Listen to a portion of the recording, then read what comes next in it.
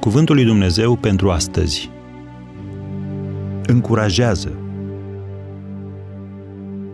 De multe ori tu ai învățat pe alții și ai întărit mâinile slăbite. Iov, capitolul 4, versetul 3. Biblia ne învață să urmărim lucrurile care duc la pacea și zidirea noastră. Roman, capitolul 14, versetul 19. Când Iov s-a aflat în suferință, prietenul său Elifaz i-a adus aminte cum în trecut el, Iov, i-a învățat pe alții și a întărit mâinile slăbite.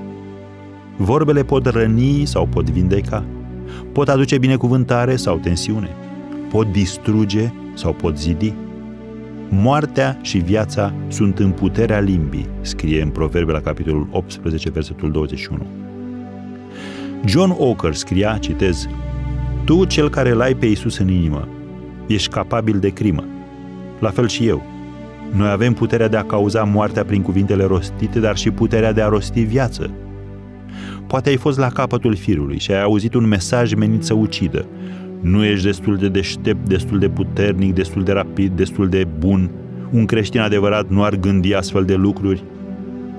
Într-o lume în care oamenii sunt zdrobiți și înjosiți, Dumnezeu îți dă puterea de a încuraja și de a distruge negativismul. Aduci viață atunci când spui ești important pentru mine, îmi place așa cum ești, viața ta contează, ai fost creat cu un scop, Dumnezeu te iubește și pentru El ești extrem de prețios.